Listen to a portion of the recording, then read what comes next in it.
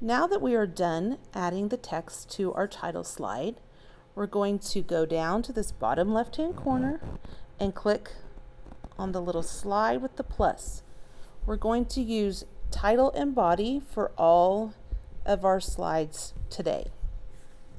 In the title, you can put what you have on your planning sheet, or you could make up something else.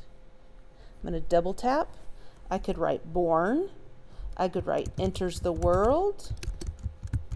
Something that describes what your sentence will be about. And now I will double tap to add my text. Here I will need to add a complete sentence. That's all I'll put on this slide. Then I need to go to the next to add another slide by going back to the bottom left hand corner, clicking the plus, hit title and body, and add your next slide. You will keep adding slides until all of your information is put in.